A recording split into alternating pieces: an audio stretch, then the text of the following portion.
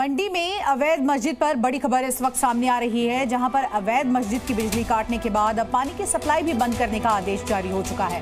आपको बता दें कि नगर निगम कोर्ट के आदेश के तहत 30 दिन के अंदर इस अवैध निर्माण को गिराना है। इस बीच हिंदू संगठनों ने प्रशासन से मांग की है कि मस्जिद वाली ज़मीन का एएसआई सर्वे किया जाए। उनका बड़ा दावा है कि जहाँ मस्जिद बनाई गई, वो पहले शिवालय था।